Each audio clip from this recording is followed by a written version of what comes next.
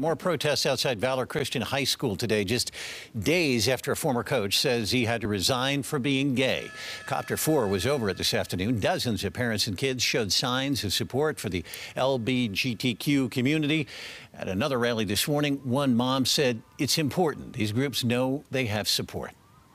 I think that a, a lot of people, um, you know, equate Christianity with being anti-gay, anti-trans, and that's just not the case. You know, certainly some of the larger, louder uh, Christian churches send that message, um, and it, and it's it's just it's dangerous and it's negative, and it, I don't think it's what Jesus would have done.